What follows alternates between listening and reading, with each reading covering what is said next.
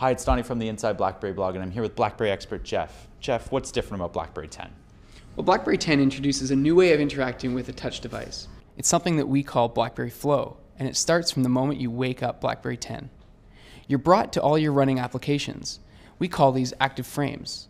Active frames provide you with useful information about that application even when the applications are minimized, so you can see where you need to be next or contacts that have recently updated their BBM status. Active frames also allow you to quickly get back to the BlackBerry Hub with a simple gesture. All you need to do is swipe up from the bottom and over to the right to get into the BlackBerry Hub. The BlackBerry Hub gives you one place to manage all your conversations.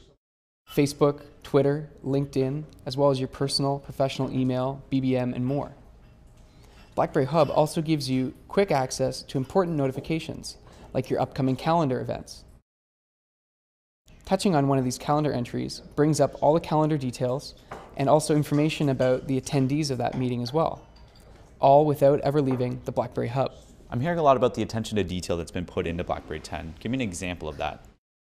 You're absolutely right. The teams have been thinking about even the smallest details, like how you set your alarm. All you need to do is grab the hand and turn it around the outside of the clock face, setting the alarm just like you would the hands on a clock. We've made it just as easy to put BlackBerry 10 into bedside mode. All you need to do is pull down from the top of the screen, like pulling down the shades at the end of the day.